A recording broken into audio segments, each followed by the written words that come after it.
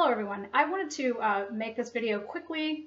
Uh, I had I've had quite a few people uh, that are actually my friends on Facebook that found out about this channel, uh, you know, because I post the videos on my Facebook page too, that have said to me, you need to give out your email address. Um, I did that several months ago, um, and I, I, took it down for a while, uh, so I wanted to put it back up again in case anyone wants to fellowship through email or feels led to do that. Um, my email address is uh, wadmm69 at gmail.com, and I'll put that up so you can write it down if you like. If there's anything you feel the Lord would like to um, share with you that you can give to me, because like I said, I've been getting uh, some people that do have my email address.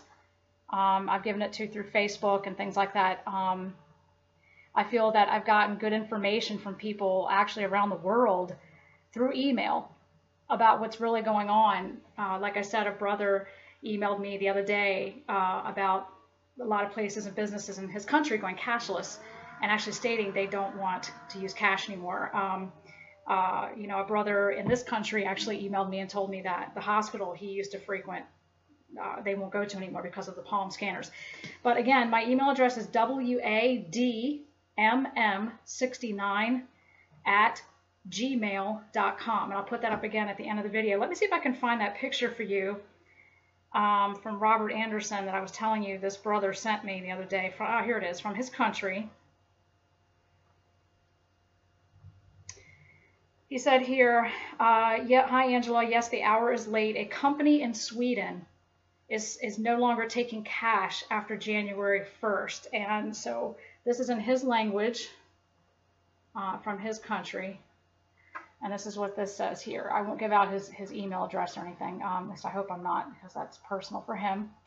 But uh, this is what he sent me. He took this picture and it says here in his native language in Sweden, no longer accepting cash for this particular company after January the 1st. And he emailed that to me.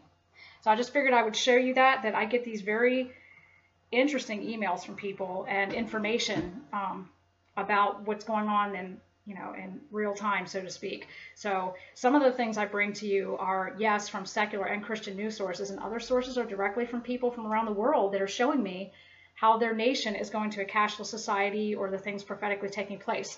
Let me put this up again for you. Um, like I said, if you feel led uh, to fellowship with me through email, um, I will read your messages and I will do my best to get back to each one. If it takes me a couple of days, it's because I'm at work uh, or um, you know, life is busy sometimes, but I will do my best to answer.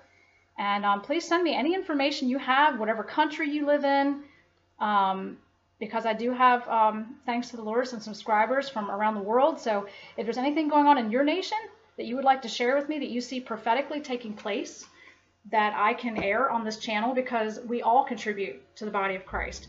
What you email me and what you show me from your area of the world uh, is contributing to everyone being built up. So, like I said, I have prayed about doing that, and um, I've had enough people bring it up to me lately, so I figured I would make my email address available again.